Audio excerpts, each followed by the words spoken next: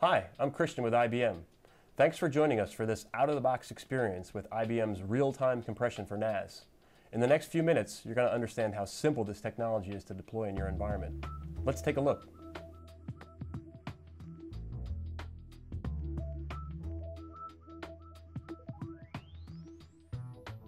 We've just arrived in the data center here, um, getting ready to install our IBM real-time compression appliance for NAS. We've opened the box carefully and we're going to just do a quick inspection of the contents. We have our end user license agreement, appliance toolkit, rail kit, cable trays, and Storwize compression appliance. So we've just unboxed the compression appliance. I'm going to perform a quick visual inspection to ensure there's no damage. It's a good idea to take a look at the model number and ensure that it matches the expected model number as well as the port configuration in the rear and ensure that matches the expected port configuration. The appliance looks good, so let's take a look at the appliance toolkit. The toolkit contains all the necessary items for installing the appliance. Ethernet cable to connect the management port to the network. Console cable for optional console connectivity. Network cables for connecting the compression appliance to the storage labels in order to clearly label all connectivity, and a marker for labeling. The next item that we're going to look at is the rail kit. The appliance rail kit is designed for ease of installation without tools. However, it's strongly recommended that you use fasteners to secure the appliance to the rack to avoid any inadvertent cable disconnection. The next item we're going to take a look at is the box that contains the power cables and optional cable arms. The box contains the power cords. Always ensure there's two for redundant power connectivity. This box also contains the optional cable arms, which are designed to work in conjunction with the rails, allowing for easy access to the appliance while it's in the rack. Our inventory all checks out. Let's go put it in the rack.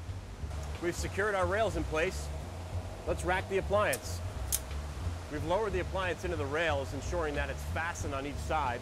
I'm going to use the quick release levers to slide the appliance into place and power it up. Now that we've racked the appliance, we're ready to power it up.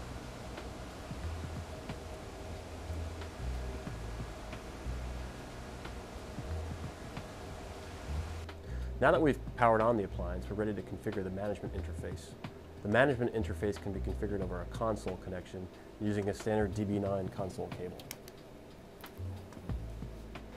So now that we've connected the management interface to the network, we're ready to configure the appliance through the management GUI. I'll do so using my web browser.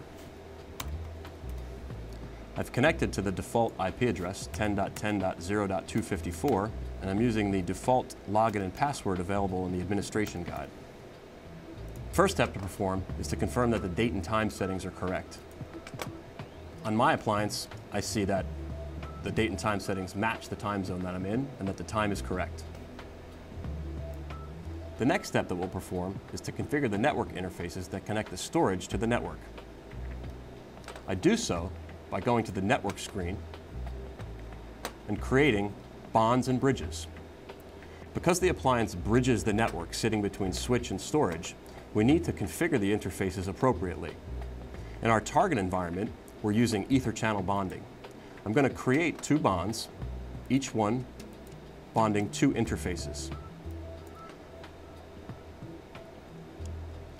In our target environment, we're using ether channel bonding. I'll create two bonds of type ether channel with the appropriate interfaces chosen. Bond 1 will consist of interfaces ETH0 and ETH1. And bond 2 will consist of interfaces ETH2 and ETH3. Now that my bonds are complete, I'm ready to configure the bridge. I'll do so by adding a new bridge, then selecting that bridge and configuring its IP address details. The IP address of the bridge needs to be in the same network segment as the storage interface that we're connecting to. In my case, I'm choosing 10.10.0.101. Now that our bond and bridge configuration is complete, we're ready to configure the storage. I do so by clicking the storage link.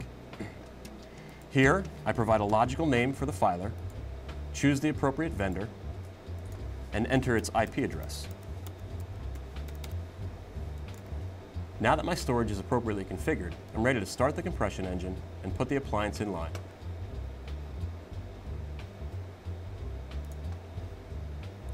I start the compression engine from the network screen, clicking on the Start Engine button. Now that I've configured the management port settings over the console, I'm able to connect that port to the network using a standard Ethernet cable. Now that the console cable is no longer needed, I can unplug it and proceed to connecting to the storage. We're ready to connect the storage to the compression appliance. I'm going to take the first cable, disconnect it from the storage, and connect it to the compression appliance.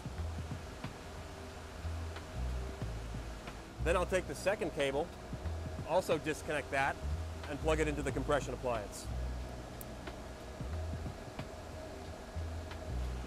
Okay, now that I've connected the storage to the compression appliance, I'm going to take two new cables and connect the opposite side of the bridge back to the storage. Now I'll take my cables and connect them from the compression appliance back to the storage.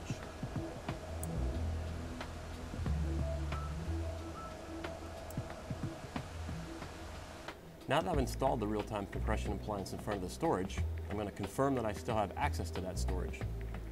I can do so using a standard tool like ping or by opening up a map drive. I happen to have a previously mapped drive to this storage, and I can see that I'm still able to access and read the directory and files within those directories. Now that we've completed the configuration and confirmed that we still have access to the storage, we're ready to configure compression and start compressing data. Compression is configured through the compression filter screen. Here, I'm able to choose a specific CIFS share and configure it for compression. I choose the appropriate share in the dropdown, accept the changes, note the pop-up that indicates only new files will be compressed, and accept. It's that simple.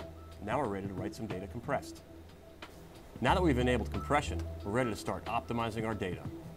I'm going to return to my previously mapped drive and copy some files, optimizing them as they're written.